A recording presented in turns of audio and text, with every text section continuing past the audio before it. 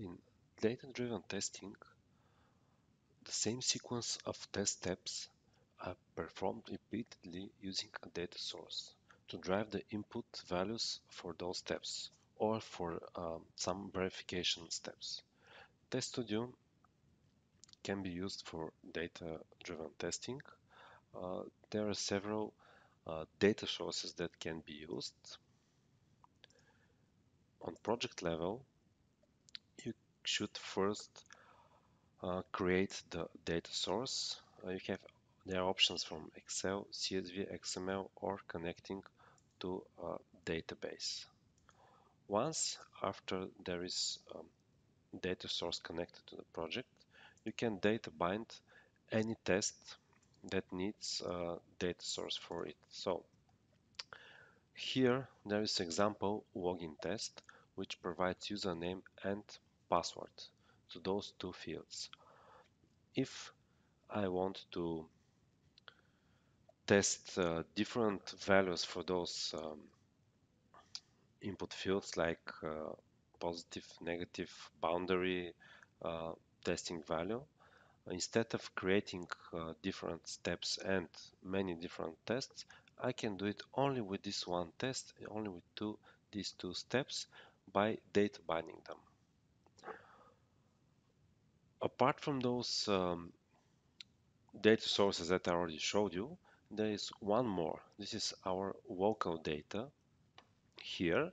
And uh, if you want to uh, data bind uh, something quick without adding uh, additional data sources or big data sources, you can quickly use uh, this uh, local data table.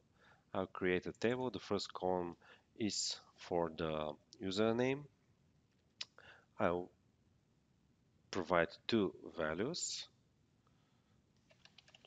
one correct and one incorrect. And I'll use the second column for uh, the password.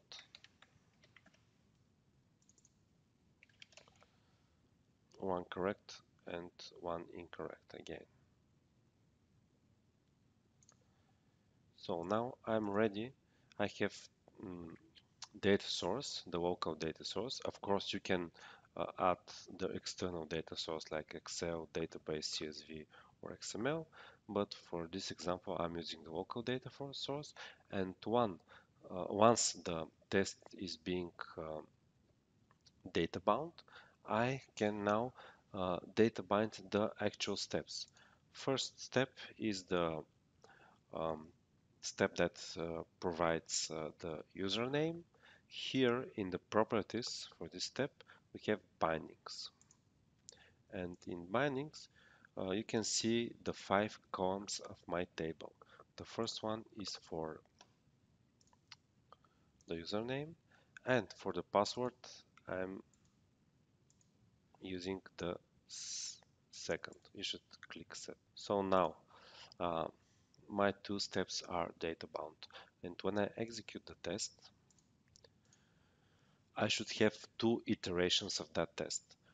First one is passing and the second one fails because um, the user pass and are incorrect. Of course, in the world, in the real world scenario, you should have uh, one more uh, verification step, which uh, corresponds to uh, those first uh, uh, steps for each iteration so that uh, instead of failing all tests should be uh, passing but expecting different result in this case, to be more visible, I'm letting this second iteration uh, to fail. So the first iteration, it passes because we gave the correct username and pass, and the second one fails on the fifth step where it cannot find the um, string which appears after you have walked into the website.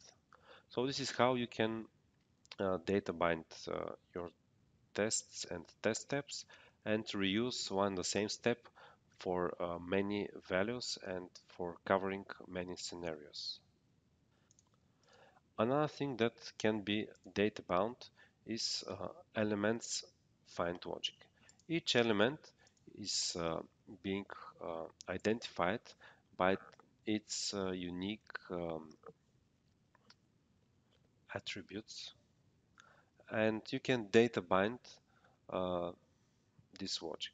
For example, if I have five elements with uh, of same of the same type with only different IDs, I can data bind the ID. Here I can data bind the ID and now if I type because this is an input field element if I type um, a string into it it will type it in several iterations and will type it in all in each iteration it will use different uh, element on my page depending on the ID uh, value that I provided.